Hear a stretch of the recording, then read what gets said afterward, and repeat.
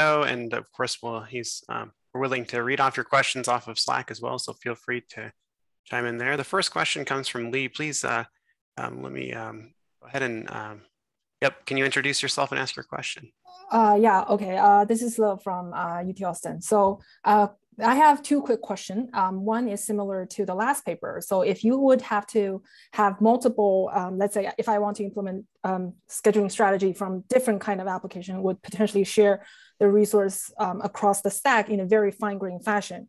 You know, um, what kind of isolation guarantee, or do you in, do you envision that uh, Syrup would provide any sort of uh, performance isolation for these kind of application at all? So that's the first question. The second question is for user level uh, scheduling policies, what kind of information do you do you think the user would have visibility to? I kind of like the idea that you have you know KV store to store all the scheduling uh, status um, inside of um, the, the framework. But you know, if, if a scheduling policy would like to um, access a very low level information, for, for example, the content in the queue, you know, is, is that possible to, to do that? Um, that's just the two questions. Thank you. Okay, can you hear me? Actually, because yep. the first time I'm speaking. Okay. Okay, thank you for the questions. They're both very good. So for the first one, for this paper, we basically we partition the resources between the applications in a static way. And uh, then we use like the syrup to like in order to schedule the resource within one application. But like in the future, we envision using like like maybe like administrator defined syrup policies to partition the resource between applications as well. Uh, yeah, so for now, we statically partition, so there's no like no risk, uh, you know, for contention, like on cores, for example. And the second question, that's very good actually. Uh, so the fact that we're able to run the scheduling code like, like in the kernel is very helpful because, for example, the BPF code that's running in the kernel and it's defined by the user can like access the queue length. And then maybe uh, like it can store information about the queue length like in a map that's accessible by user space. And that's how we pass information, you know, like about the low levels of the stack like around between layers. Thank you. All right. Um, let's, uh, since Yang was first to come, she's a live uh, question asker. Let's have her go next. And then we'll get to the slide Hello. questions. Um, so it's great work. Uh, I have a question regarding the scheduler in the NIC. Um, so in Shinjuku, you have the centralized dispatcher to enforce um, single queue or multiple queue policy. So does uh, the scheduler in the NIC in Syrup uh, carry out say similar um, policy? So like like unfortunately, the thing about the networking stack in Linux is that it only supports like early binding. Uh, so it's hard to queue things in the network stack and schedule to an executor when like one becomes available. Mm -hmm. so like as soon as a packet arrives at the NIC, we need to, to decide which of the RXQs to send it to. So we cannot, mm-hmm. you know, wait until one, like, let's say that all lot, like a all occupied, we cannot wait for one to like to become available and then schedule. We need to decide like at the moment, like a packet arrives, mm-hmm. and that's, and we think that you know that's like something that's missing from the existing networking stack in Linux, and we hope it's going to change the future so that we can support uh, like Shinjuku like scheduling, uh, like like in the NIC coordinator stack. Uh, so I might have a second question regarding yeah. the core allocation. Um, so can application occupy multiple cores? And um, yeah. those multiple cores can share one scheduler or they can uh, specify individual scheduler on different cores? So, uh, so for now we have like like a scheduler for each application which mm-hmm. is like each scheduler is a ghost a user space agent mm-hmm. that schedules like in the enclave, like that's you know Jack like mm-hmm. explained before, that belongs to the application. Oh, okay. So can you dynamically allocate cores to application during the execution? Yeah, we can, but we don't do it yet. But it's like it's feasible. okay. Okay. Yeah. Thank you. All right. Let's uh, jump to some of the Slack questions. Yep. So um, Marios uh, wanted to know um, if uh, how expressive syrup can be. Are there specific classes of policies that cannot be expressed in syrup, and others where it shines? uh, how could you uh, express fairness, for example, as online matching? So, like as explained to Yang, the policies that are not easy to express in the networking stack part of syrup are the ones that uh, you know require the, you know the late binding in the networking stack. But for fairness, for example, we have like a policy on the paper where we like assign like a number of tokens to request like types, and then we schedule based like on the available you know tokens that are replenished in user space. Yeah, so we can do something like that for sure. The like the only limitation might be the BPF limitation, like you know like all the checks that need to happen by like by BPF, but like as we saw, that was not a big issue practice because scheduling, like the policies, the code for the policy is quite simple, like in most cases. All right. Um, we have another question from uh, Ali Reza from QMUL.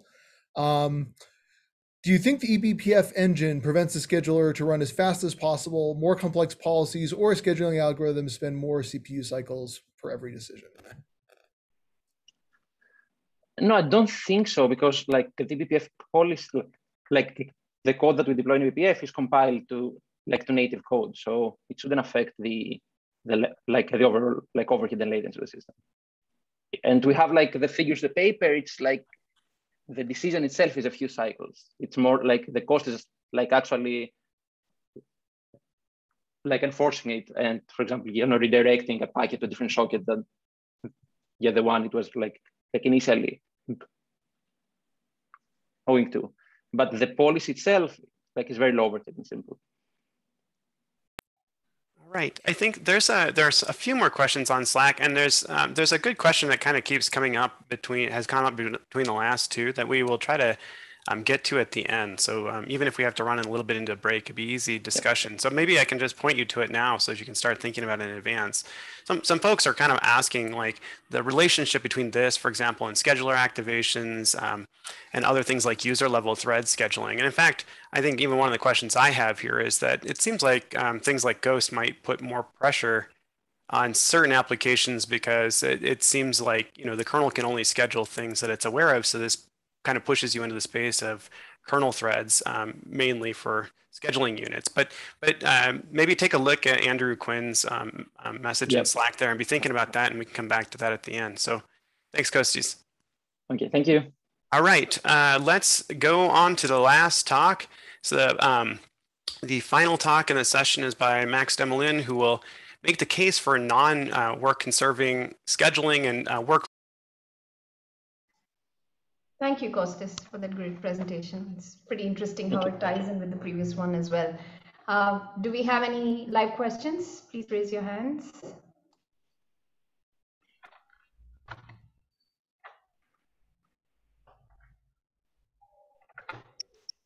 We have Max, I think. Max, yeah.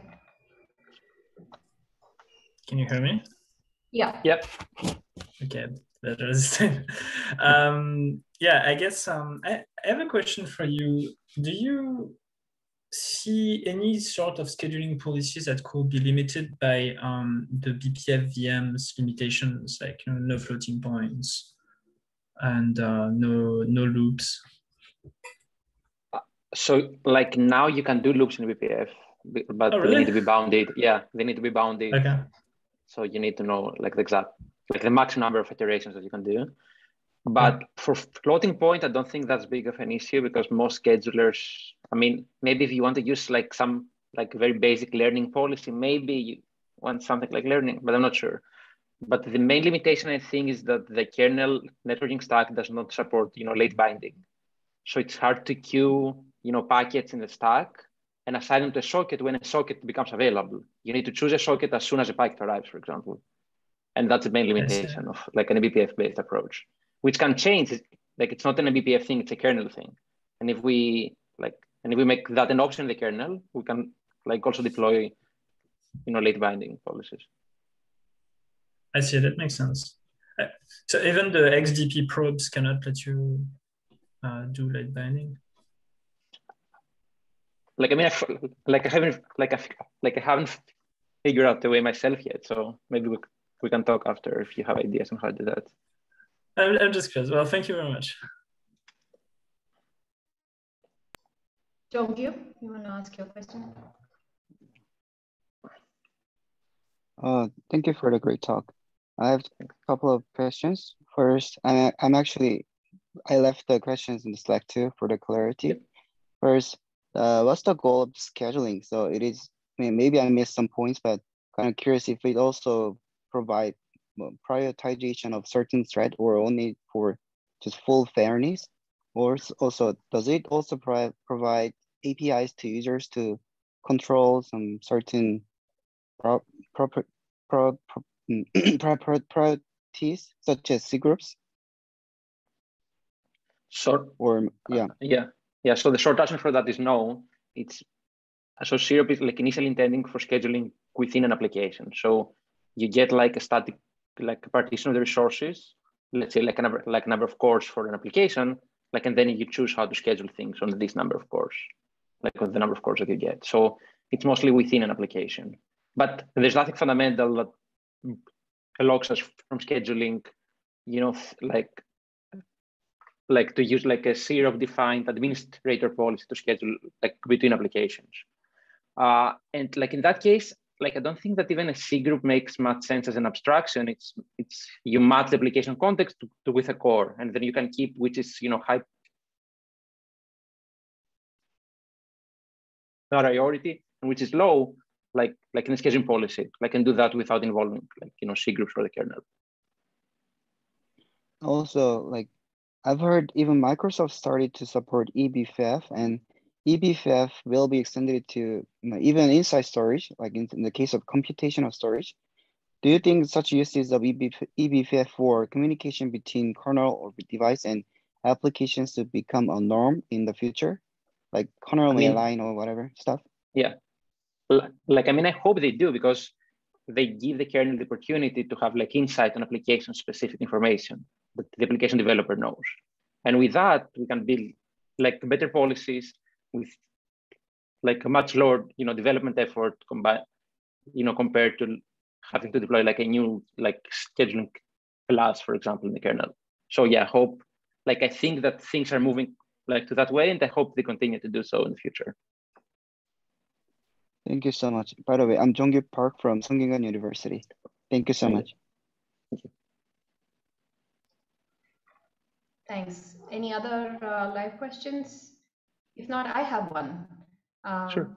It's kind of on the designability and the ease of writing these scheduling policies, right? So um, I have two questions about that. First is how do you actually help somebody design a scheduling policy? Because you know I've encountered application developers who write the application, but they don't know much about how to write the scheduling policy. So can you provide some hints on how to do this? And the second uh, follow up is that you know, I can end up writing extremely unoptimized code. Um, you, you, you wrote the round robin scheduler policy, which works really great, but I could end up writing really unoptimized code there, which uh, does really badly. So how do you prevent these kinds of problems? So, uh, so for now, we do nothing about that. It's just uh, we give the opportunity to the developers to easily implement a policy like as a matching function. So like we want to make it you know logically easy for them to implement the policy without having you know, to interact with the, with the low level mechanism of the system, like, you know, how to send an interrupt to a core or how to forward like a packet to like a specific socket, like, or things like that. On how to make the, like the policies that the developers deploy faster, that's a different question. It's a very interesting one actually.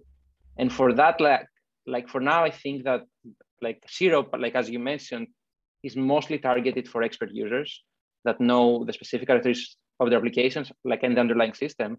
But in the future, maybe we have like a self-adaptive policy in the hook that, that the syrup code is running. And that way the user will need to know nothing about that. Like, and the learned policy will be able, to, you know, to like to reach whatever goal the like the user sets. But yeah, that's a very good point that you, you mentioned. Okay, uh, thank you very much. Um, Okay, I have one minute for another quick uh, question, more like a status question for you and maybe even uh, Jack and Neel who presented the previous paper. Uh, can you comment a little on the state of deployment of these two tools? So like a Syrup is an academic tool, so maybe like it's not deployed at Google. So maybe Jack and Neel should uh, like talk about uh, you know Ghost and Google. Yeah, hey Neel, are you on right now? Not sure if he's at his. Uh, yeah, I'm on. Why, why, don't, why don't you take that one? Um, Ghost is it's definitely intended to be a production ready framework and we are actively working with several large footprint applications within Google uh, to deploy in production. Um, and I think that's about the extent of what I can say. Um, the code is available on GitHub. And I think when people look at the code, they will see that this is not a this is not a tool written for a paper. This is really something that was written to run in production, and then we wrote a paper based on it. Okay, thank you very much. Uh, so I think we are out of time. So You muted yourself, yeah. I got muted by mistake. Uh, I don't think there are any other questions, uh, but please do post uh, questions for both of these on the Slack channel. Um, people can see that even after this presentation. It's, it's really been interesting for me so far. Uh, so let's go on to the next presentation, the last presentation for uh, this session. And uh, this is by